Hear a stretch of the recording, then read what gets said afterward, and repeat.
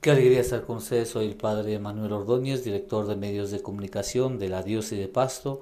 Les invito en este momento para que le demos una oración al Dios de la vida, al Dios del amor, al Dios de la misericordia.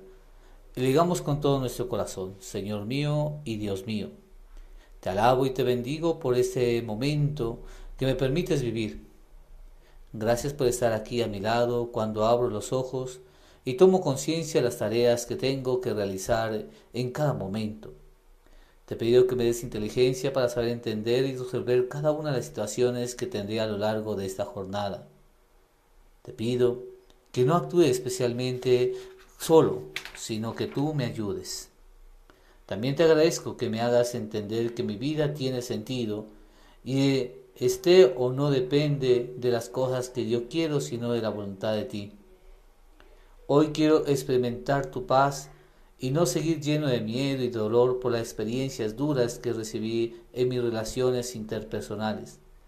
Te pido que mientras esté descansando junto a ti, tú me cuidas, me protejas y me ayudas. Pongo en tus manos todas las actividades que realizo, que sean bendición y que cada día crezca.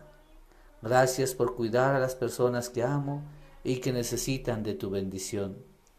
Que el Dios del amor y la misericordia te bendiga hoy y siempre y te acompañen.